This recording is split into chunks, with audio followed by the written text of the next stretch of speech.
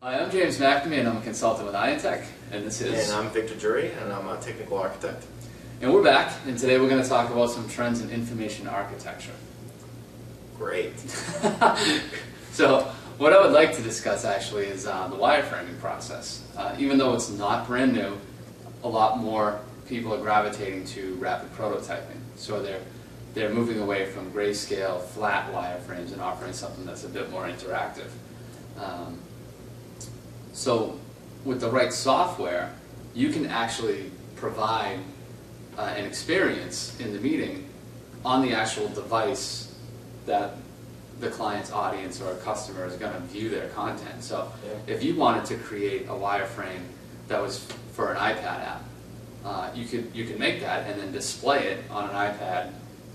You can touch it, you can move it, you can have things going on, but it still is a wireframe. It's not the full design or anything. Yeah. But it really starts to generate some really good feedback, which is sometimes hard to get in those meetings. That's right. So it really is kind of the uh, combination between the flat wireframes and the interaction model. But now you're kind of bringing it to life, if you will, Exactly. so that people can interact with it and so on, and give you real-time feedback as to, hey, how is this functioning? Right? A wireframe kind of explains, you know, how does it look, how is it more or less going to work. The interaction model then shows you, you know, kind of the different uh, features that it's going to have. But when you actually kind of Yeah. rapidly prototype that stuff, it just it really brings the experience to life. Absolutely, you made a great Yeah. point. Like if you click on something or something's supposed to happen on hover, you usually have to annotate that on a flat wireframe. But in this case, you can be like, just Yeah. Click it. So, uh, what kind of tools do you use uh, for that? There's uh, one of my favorites actually, especially for mobile wireframes, whether it's an app or a website, is uh, Axure.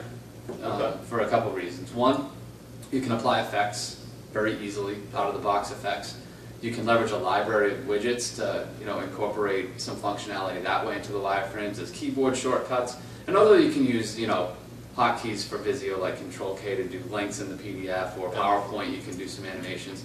This is it's just a really fun piece of software to to make something um, because it instantly generates HTML and JavaScript for you. So it feels like what you're presenting to the client was done by six people, and it was really just one resource. So um, you can really, as I mentioned, get some real good ideas going and get that hard to get feedback without writing a single line of code. Fantastic. Uh, one that I use is uh, Sketchflow, which is a uh, Microsoft Expression uh, product.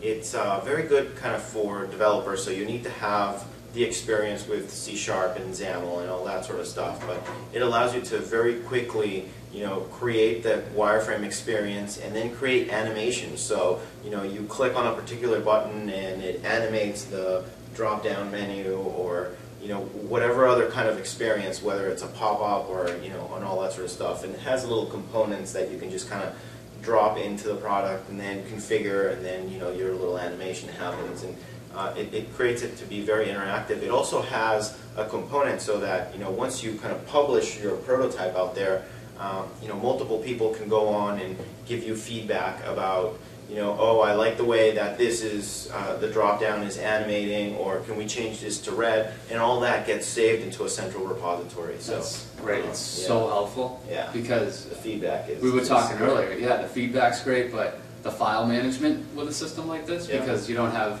multiple versions of PDFs going around or PowerPoints with people's initials on them, and they're in email and they're in a repository somewhere else, one central place Yeah, to look at something that's interactive.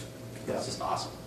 fantastic. Uh, the last little tool that I can mention is uh, Proto.io, which um, essentially is more towards the flat uh, wireframing, uh, but it has a lot of the controls. It's free, it's online, and people can collaborate very easily on it. So that would be another tool that I'd recommend.